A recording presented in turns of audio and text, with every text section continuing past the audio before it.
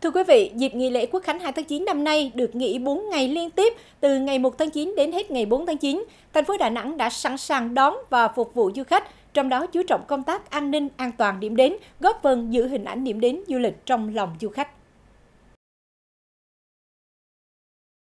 Sở Du lịch Đà Nẵng cho biết đã ban hành các văn bản chỉ đạo đề nghị triển khai các nhiệm vụ nhằm đảm bảo công tác đón và phục vụ khách trong dịp nghỉ lễ Quốc khánh mùng 2 tháng 9 năm 2023, trong đó đảm bảo an ninh an toàn cứu hộ cứu nạn tại các khu điểm, cơ sở dịch vụ du lịch trên địa bàn quận huyện, đảm bảo công tác phục vụ khách du lịch, đảm bảo công tác an ninh trật tự, vệ sinh môi trường, vân vân. Về cái công tác cho chuẩn bị thì bên mình cũng rà soát lại các cơ sở vật chất cũng như là các trang thiết bị để không để đảm bảo phục vụ cho khách à, được an toàn và vui chơi được vui vẻ. Và về nhân sự thì bên mình cũng tăng cường gấp đôi nhân sự để phục vụ cho lễ được à, một cách là chỉnh chu nhất.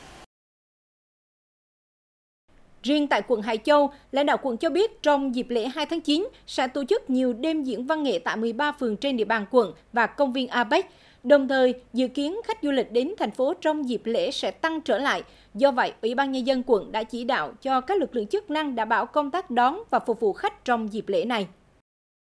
Chúng tôi à, ra quân à, tổng dọn vệ sinh môi trường, đặc biệt là các tuyến đường trọng điểm của thành phố như Trần Phú, Bạch Đằng, 2 tháng 9, Nguyễn Văn Linh.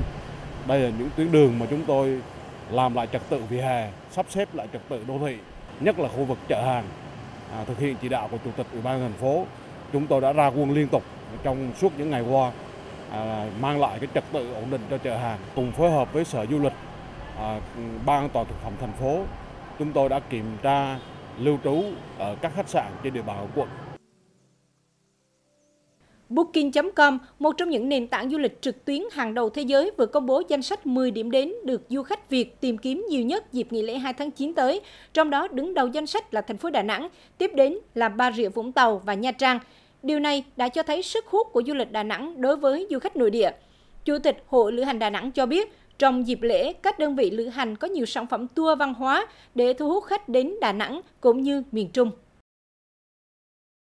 lượng khách về Đà Nẵng so với cả nước thì theo thống kê của lưu trú à, của các kênh OTI, kênh à, online thì Đà Nẵng vẫn là dẫn đầu cả nước. Về lưu trú chúng ta trung bình chúng ta đạt được khoảng tầm hơn 50 tới 60%. Dịp lễ 2 tháng 9 với thời gian nghỉ dài ngày được xem là cơ hội vàng để Đà Nẵng thu hút đông đảo du khách đến tham quan, vui chơi, lưu trú, góp phần tăng trưởng doanh thu du lịch cho thành phố.